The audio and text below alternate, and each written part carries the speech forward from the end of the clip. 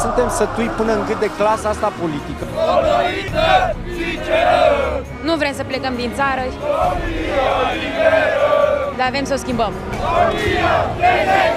Este rândul nostru. Nu vrem o revoluție, vrem o evoluție.